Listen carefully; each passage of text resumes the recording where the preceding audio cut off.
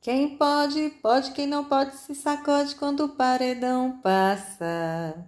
Tá aí o PA dormindo, é o único classificado para a final, é o primeiro finalista. Os outros estão lá tentando esquecer.